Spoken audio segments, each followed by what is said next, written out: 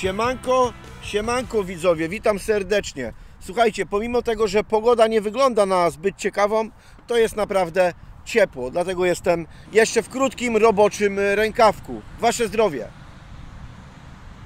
Jak wiecie, ostatnio dodałem odcinek o tym, że jest napięta sytuacja y, Holandia-Izrael ze względu na to, że są demonstracje i różne nieprzyjemne sytuacje w stosunku do Izraela po tym, co się dzieje w strefie gazy.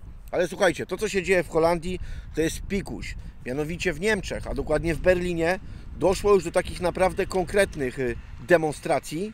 Dzisiaj jak czytałem, to tam było grubo. Rzucali koktajle Mołotowa, rzucali kamieniami w policję, spalili synagogę i tam naprawdę już jest zadyma. Można powiedzieć, że zaczyna się mała wojna religijna. Robi się naprawdę nieciekawie. I to nie tylko w Holandii, bo ja na początku myślałem, że tutaj w Holandii są takie zamieszki, a co się okazuje, to Niemcy i inne kraje też mają z tym spory problem i robi się coraz bardziej nieciekawie, a wszystko dlatego, że w strefie gazy został zbombardowany jakiś palestyński szpital i po tym ataku uruchomili się ludzie w Niemczech, a wiecie, tych muzułmanów w Niemczech wydaje mi się, że jest jeszcze o wiele więcej niż w Holandii, bo tam jest tej nacji naprawdę sporo.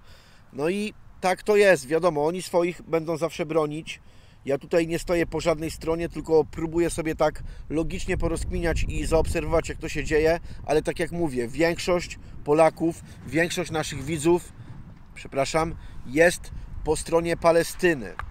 Dużo moich znajomych też po stronie Palestyny, ale obawiam się, że pomału, już to zaobserwowałem dawno, ale już widzę, że pomału ta Europa się kończy nasza. Nasza kochana Europa się kończy i tak jak wszyscy kiedyś emigrowali do Europy, bo nie wiadomo jakie tam złota nam obiecywano, ten e, nieamerykański, powiedzmy europejski sen, który każdy chciał spełnić, wszyscy wiadomo, z tych krajów tutaj do Europy, no to niedługo będzie tak, że z tej Europy będzie trzeba dawać nogę. I teraz myślę, gdzie by się tu przenieść, widzowie?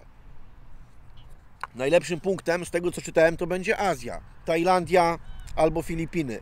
Tanio, ładnie, ciepło i można tam sobie spokojnie żyć za naprawdę małe pieniądze. Nie no, oczywiście świruję. Nie chciałbym uciekać z Holandii, nie chciałbym uciekać z Europy, bo w Europie naprawdę czuję się bardzo dobrze, ale po tym, co widzę, co się dzieje ostatnio na świecie, teraz mamy Izrael, Palestyna. I to nie dotyczy tylko nie wiadomo jakich krajów, bo mi się wydawało tak, że mnie to nie dotyczy, ale z jednej strony patrząc, zobaczcie, z tego punktu, z tego miejsca, gdzie ja siedzę, do Berlina jest jakieś 600 km. A moje rodzinne miasto, w którym się wychowałem i skąd pochodzę, to jest Nowa Sól. I z Nowej Soli do Berlina mamy jakieś 200 km, czyli ja znajdujemy się tak naprawdę pomiędzy. Pomiędzy Nową Solą a Holandią jest Berlin. Pomiędzy tą, tym miasteczkiem Kampen a Nową Solą jest Berlin. Także niby nas to nie dotyczy, ale tak naprawdę ale tak naprawdę jest to bardzo blisko nas i dotyczy nas, no bo zobaczcie, skoro są zamieszki w Holandii, w Rotterdamie, w Hadze, ja stąd do Rotterdamu i do Hagi mam stówę, stówę z hakiem, 100 km z groszem, także jest naprawdę blisko.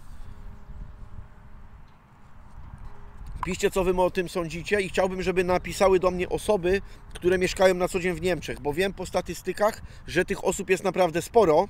Z Niemiec, z Holandii, z UK też jest bardzo dużo, z Norwegii mamy, z Danii. Piszcie w ogóle skąd nadajecie. No i oczywiście duża większość jest z Polski. No ale mówię, ja z Polski, z Nowej Soli do Berlina mam dwie stówki, dwie stówki z hakiem dokładnie i zadyma jest konkretna i wiecie, to jest najgorsze to, że to będzie teraz bardziej się wszystko nasilało ze względu na to, zobaczcie sobie, czym będą większe ataki na Palestyńczyków. Wiadomo, teraz Palestyna im odda, Izrael odda im i będą między sobą y, się ścigać, nie? Ale czym większe zamachy będą na Palestynę, to wszystkie narodowości muzułmaństwie będą protestowały tutaj w Europie, będą protestowały, można powiedzieć, tutaj u nas, nie? Także nas to też prędzej czy później dosięgnie. No, tak jak mówię, zaczyna robić się z tego wojna religijna. Nie chciałbym nigdy takiej wojny, ale zobaczcie, no, chrześcijanie, muzułmanie, Żydzi to chyba judaizm, z tego co wiem. No i to wszystko chodzi głównie o religię. No wiadomo, religię i o poglądy polityczne i czym oni się zajmują, jak już mają tyle hajsu ci politycy, ja się tak zawsze zastanawiałem, o co im chodzi, mają tyle pieniędzy. Wiem o co im chodzi, chodzi o władzę. Jak już mają tyle kasy, to oni chcą mieć władzę. Tacy ludzie jak Putin, jacyś wielcy carowie, wiecie, ludzie, którzy rządzą tym światem, później pieniądze im nie wystarczają i potrzebna jest im władza. Ale mówię, najgorsze jest to, że w takich Niemczech czy w takiej Holandii może dojść do wojny domowej. A wiemy z przykładu, że wojna domowa potrafi rozdupczyć cały kraj. Wojna domowa. No bo jeżeli ludzie są po stronie Palestyny i wojują z policją, z rządem, rzucają kamieniami, wszystkie jakieś zabytki żydowskie i tak dalej, no to oni wypuszczają policję. Jak nie pomoże policja, to będzie wojsko i będą ludzie cywile, bo wiadomo, są to muzułmanie, ale mieszkają tutaj w tych Niemczech, w tej Holandii 20, 30 lat, 40, rodzą się tutaj, żyją, także też są na pewno obywatelami tego kraju i nie ma co się dziwić. Wpuścili ich, to niech teraz się nie dziwią, że walczą o swoje. No i tak to będzie. Będą oni trzymać stronę Palestyny i będą w Europie niszczyć wszystko, co jest żydowskie, a politycy będą bronić tej nacji żydowskiej i dojdzie do wojny domowej. Jak będzie wojna domowa, to tak jak mówię, rozdupcony będzie cały kraj. Tego bym nie chciał. Kurczę, porobiło się, porobiło się. Powiem Wam, przejdę się trochę, bo aż się zagotowałem. Porobiło się nieciekawie. Nie wiem, co o tym sądzić. Piszcie, co o tym sądzicie. Ja idę sobie zobaczyć tutaj baranki i się trochę porelaksować.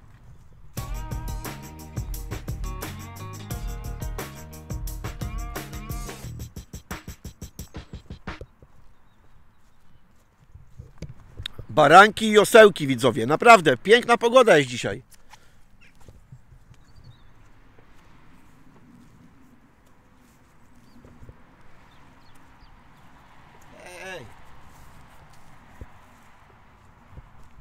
I zobaczcie, widzowie, jak to jest, że zwierzęta potrafią żyć w zgodzie, a ludzie nie. Kiedyś ktoś mi powiedział, że najgorszym stworzeniem jest człowiek.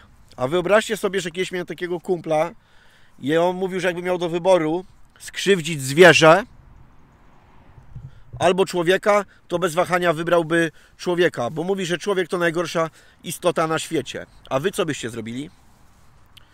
No i mówię wam, kurczę, nie podoba mi się to, nie podoba mi się to, bo ja bym chciał swoje życie przeżyć w spokoju. Mam 36 lat i tak jak ostatnio z kumplem gadałem, bo gadaliśmy sobie jak to będzie, kto ile będzie żył. Ja bym chciał przeżyć jeszcze raz tyle, nie?